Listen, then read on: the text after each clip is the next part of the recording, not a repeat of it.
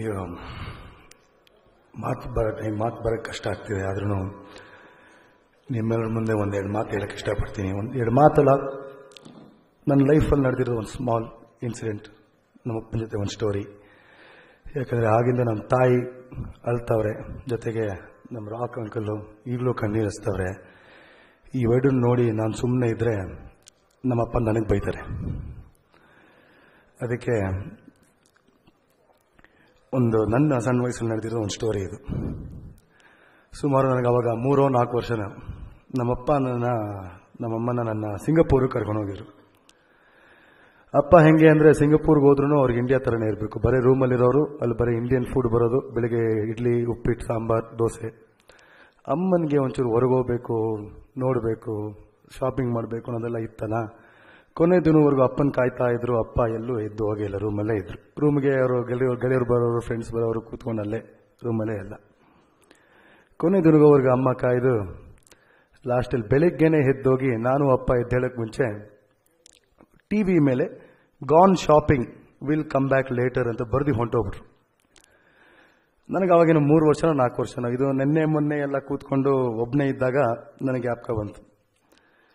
ಬೆಳಿಗ್ಗೆ ಎದ್ದೇಳ್ತೀನಿ ಕಣ್ಬಿಟ್ಟು ನೋಡ್ತೀನಿ, ಚಿಕ್ಕ ಮಗು ನಾನು ಅಮ್ಮನ ಹುಡುಕ್ತಾ ಇದ್ದೀನಿ, ಅಮ್ಮ ಕಾಣ್ತಿಲ್ಲ. ರೈಟಿಗೆ ತಿರುಗ್ತೀನಿ, ನಮ್ಮ ಅಪ್ಪ ಕೂತವ್ರೆ, ಅವರು ಎದ್ದು ಕೂತವ್ರೆ ಮಗುನ ನೋಡ್ತಾರೆ, ಹೆಂಡತಿ ಕಾಣ್ತಿಲ್ಲ, ಏನು ಮಾಡೋದು ಗೊತ್ತಾಗ್ತಿಲ್ಲ. ಐದು ನಿಮಿಷ ಕೂತಿದ್ದೆ, ಅಪ್ಪ ಅಂದರೆ ಹೆದರಿಕೆ ಬೇರೆ.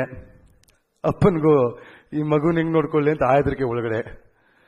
ಸೊ ಅಪ್ಪನ ನೋಡಿ ಒಂದು ಐದು ಐದು ನಿಮಿಷ ಕೂತಾದ್ಮೇಲೆ ಜೋರಾಗತ್ತೆ. ಯಾಕೋ ಮಗನ, ಏನಾಯ್ತು?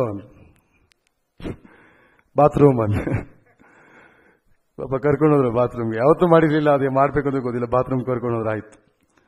ತಿರ್ಗಾ ಐದು ನಿಮಿಷ ಕೂತೆ, ತಿರ್ಗಾ ಜೋರಾಗತ್ತೆ. ಯಾಕೋ ಮಗನೇ ಅಂದ್ರು. ಹಲ್ಲುಜ್ಬೇಕು ಅಂದ್ರು. ಎಲ್ಲ ನಮ್ಮ ಅಮ್ಮನೇ ಮಾಡ್ಕೊಡೋರಲ್ಲ? ಆಯ್ತು, ಬಾ ಅಂತ. ಹಲ್ಲುಚ್ಸಿದ್ರು ಅಷ್ಟೇ ತಾನೇ ಅನ್ನೋದು. ಹ್ಞೂ ಅಷ್ಟೇ. ಅವ್ರು ರೆಡಿ ಆಗೋಕೆ ಹೋದ್ರು, ಕೂತ್ಕೊಂಡು ಕನ್ನಡಿ ಮುಂದೆ ನಿಂತ್ಕೊಂಡು ಶೇವಿಂಗ್ ಮಾಡ್ಕೊತ ಇದ್ರು ಬ್ಲಶ್ ಮಾಡ್ಕೊತಾರೆ ಡೋಂಟ್ ರಿಮೆಂಬರ್ ತಿರ್ಗಾ ಅತ್ತೆ.